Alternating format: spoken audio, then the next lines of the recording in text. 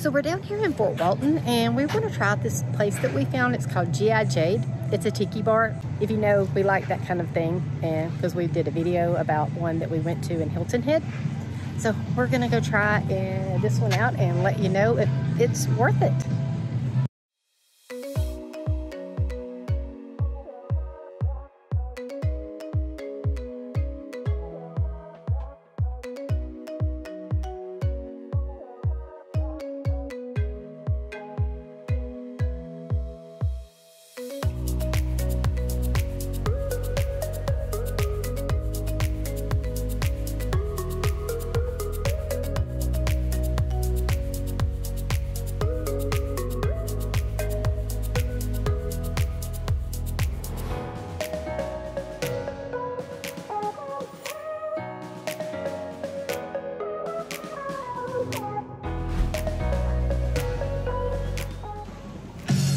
I don't know if you're gonna be able to hear me or not, but this is their signature sauce. It's some kind of green garlic, kind of like tartar sauce, but it doesn't taste like tartar sauce. It's really good.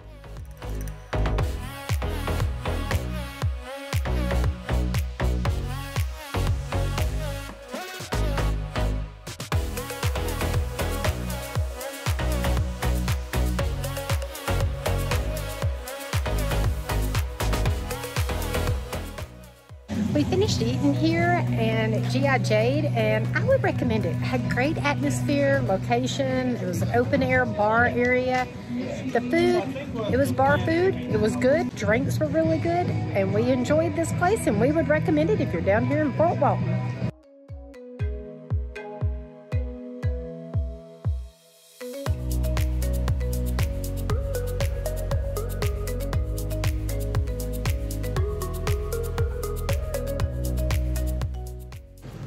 So we left one tiki bar, drove 14 miles west here to Navarre, and we're at Juan's Pagoda.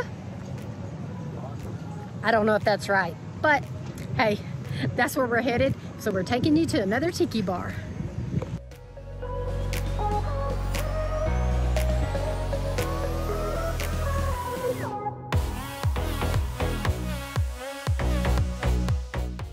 So we already really like this place.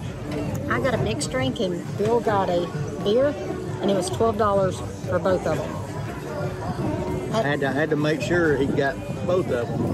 Because most places you go to around here is going to be 20 bucks. And it's gonna be $12 just for mine. So they got good drink prices. Some volleyball going on down below us. Beach volleyball.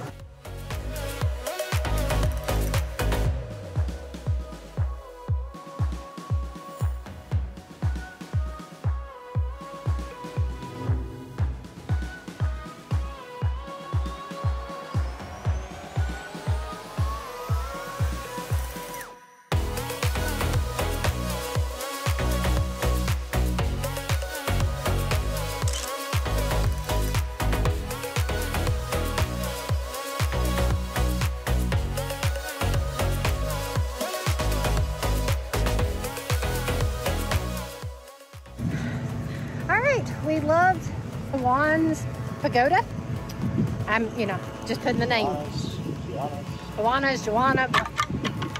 It's here. It is a really cool place. We met, there's a lot of locals and stuff that were hanging out here. So this is like a really little local hangout place. Really nice people. Parking is, parking is very difficult, but hey, it's well worth the park and drinks were super, super cheap. Till next time, like and subscribe.